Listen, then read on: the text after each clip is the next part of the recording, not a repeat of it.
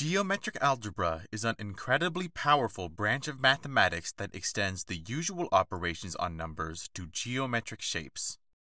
In school, we first learned about elementary arithmetic, where you add, subtract, multiply, and divide numbers.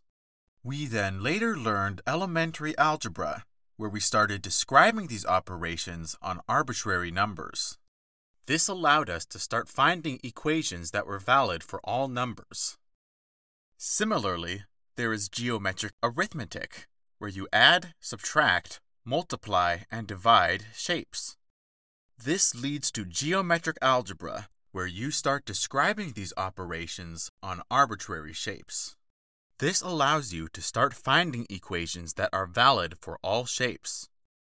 Geometric algebra provides a natural way to convert geometric problems into algebraic problems, which can be much easier to solve. For example, reflecting a shape across a line uses this simple equation. Geometric algebra is useful for more than geometry, however. Many problems in areas like physics, engineering, mathematics, robotics, computer graphics, and more are geometric problems, so geometric algebra provides solutions in all of these fields. Geometric algebra is actually a fairly recent development. Back in the 1800s, many different algebraic systems to describe geometry were popping up. In the end, the one that came out on top was something called vector algebra. Vector algebra can describe many things, but there are certain situations where it is not enough. Many people started tacking on new mathematical ideas to try to fill these gaps, and while they did manage to be successful in describing more than vector algebra could, the result was a massive kludge of many separate ideas. This situation makes everything hard to understand and learn. This problem began to be resolved in the 1960s when David Hestenes started using geometric algebra in physics. Since then, Geometric algebra has been applied to many other fields, providing many new insights and unifications between disciplines.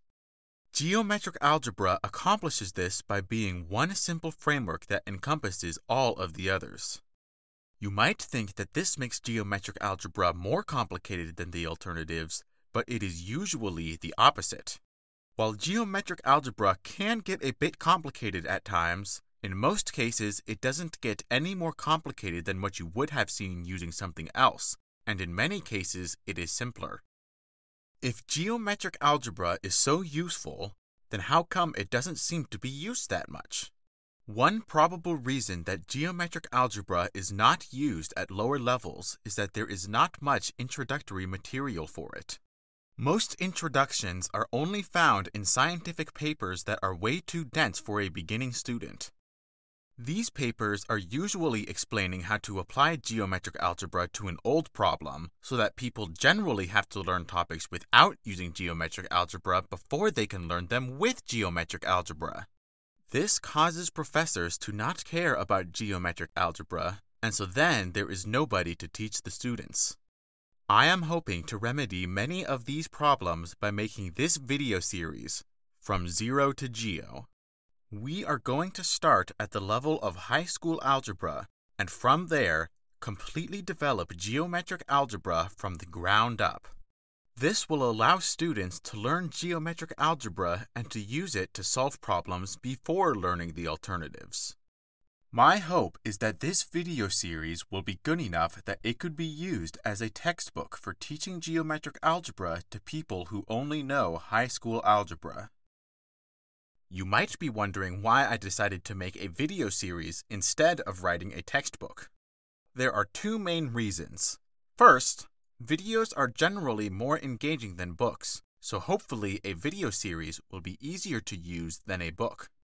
Second, by using videos, I can animate the many geometric objects that are used in geometric algebra. A lot of the writings on geometric algebra tend to focus on the algebra part of the field rather than the geometric part because it is hard to describe geometry through writing. Using videos allows me to fully integrate the geometric aspects of geometric algebra with the algebraic parts, allowing for a better and more complete understanding of the subject. Before we move on, there is one important clarification that I need to make. There are actually many different flavors of geometric algebra. Each of these flavors has their use, and some are better suited to certain applications than others. Because some people only care about a single application, they only focus on a particular flavor. This can confuse beginners because some terminology has a different meaning depending on the flavor. For example, vanilla geometric algebra says that vectors are an oriented line segment, while projective geometric algebra in three dimensions says that vectors are a plane. Despite these differences, it turns out that the equations are almost exactly the same in each flavor. But what flavor should we focus on? To start off, I am going to focus on vanilla geometric algebra, usually called VGA for short. It is the simplest one, algebraically speaking. When you see people talking about geometric algebra, they are often just talking about VGA. Once we have explored VGA enough, I will start to expand to other flavors. Because this is going to be like a textbook, that means that there will be exercises assigned. When you see this pencil symbol, I want you to pause the video, get out a pencil, and get to work. One of the best ways of learning is doing. If you don't do the exercises, you will not learn the material. The only excuse for not doing the exercises is if you don't want to learn. I'm going to be providing the answers to all of the exercises soon after giving them, so make sure you pause before the solution is spoiled. The types of exercises are varied. Some are purely computational. Math isn't about computation, so I don't like these kinds of problems as much, but they can be useful. They can solidify the concepts in your brain, and doing them enough can make you fast at computing.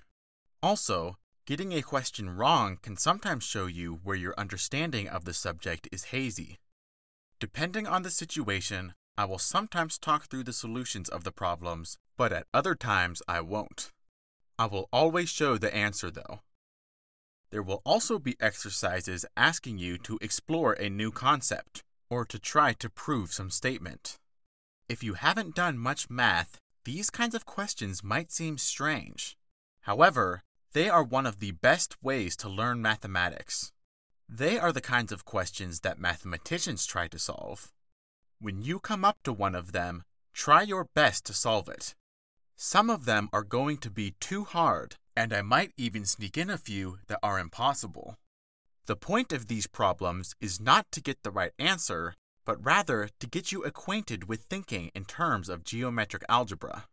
If you can't figure out one of these problems after trying everything you can think of, you can continue on in the video and see the solution. Also, if you're afraid of proofs, don't worry. I am looking for an argument more than a proof, and I wouldn't even consider my own answers to be good proofs. Here is a brief outline of my plan for this series. We will first learn about vectors. In VGA, vectors are thought of as oriented line segments, or an arrow. However, in more general contexts, vectors can be used for a lot more. We will also talk about these other uses. In geometric algebra, vectors are the foundation that we build everything else on. We will then shift our attention to multivectors. Multivectors are the main object that we use when doing geometric algebra. While multivectors can represent geometric objects such as lines and points, they can also be used to represent operations on these shapes. After developing the basic objects that we do geometric algebra with, we will talk about how to multiply them. The multiplication that we will develop is called the geometric product, and it is what sets geometric algebra apart from everything else. We will also see how the geometric product naturally encodes rotations and reflections. We will then use the geometric product to define several other useful products like the inner and outer products. After this, we will move on to the other flavors of geometric algebra. In the process, We are also going to learn about alternative geometries. Then we will talk about linear transformations. Linear transformations are generally a topic in a linear algebra course. However, geometric algebra provides many insights into the study of linear transformations, so we'll cover that here. Finally, we will formalize geometric algebra and rigorously prove that everything we have been doing is correct. This chapter is optional for most people, being included mainly for the professional mathematicians.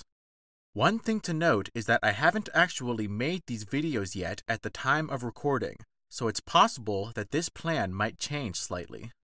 I am going to put a table of contents into the description of this video that I will fill in as I make more videos in the series. With all of that said, I hope that you will join me in discovering geometric algebra.